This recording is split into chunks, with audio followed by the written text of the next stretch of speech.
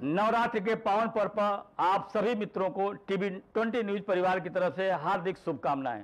आप देख रहे हैं टीवी ट्वेंटी न्यूज़। बने रहिए हमारे साथ, मैं हूँ अशोक वर्मा। तो खबर आजमगढ़ से जहाँ समाजवादी पार्टी कार्यालय जनपद आजमगढ़ पर मान्यवर कांसी राम साहब का परिनिर्वाण दिवस उनके चित्र पर पुष्प अर्पित कर मनाया गया। साथ ही जिलाध्यक्ष हवलदार यादव ने कहा कि मान्यवर साहब कांसी राम एक समाजवादी चिंतक महान विचारक, शोषित, पीड़ित, वंचितों के हक और अधिकार दिलाने के लिए उन्होंने आजीवन संघर्ष किया। ऐसे महापुरुषों के विचारों को कभी भुलाया नहीं जा सकता।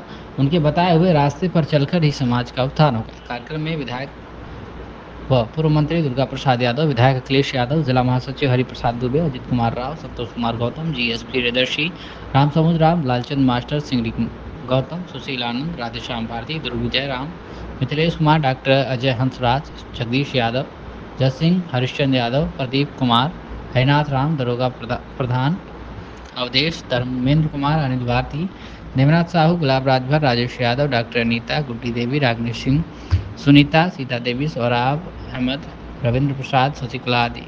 समाजवादी पार्टी के नेता, पदाधिकारी और कार्यकर्ता उपस्थित रहे। कार्यक्रम का संचालन अनुसूचित जाति प्रकोष्ठ के जिलाध्यक्ष जगदीश प्रसाद ने किया।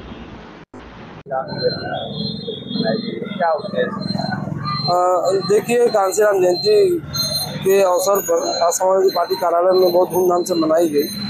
और हम सभी नौजवान युवक और पिता तुम बुज़ुर्ग और समाजवादी पार्टी के सभी कार्यकर्ता और पदाधिकारी, उनके पद चिन्हों पर चलने के लिए हम लोग कसम खाई है कि आने वाले समय में जो भारतीय जनता पार्टी गरीब पीड़ित, शोषित, वंचितों को हमेशा दूसरी निगाह से देख रही है।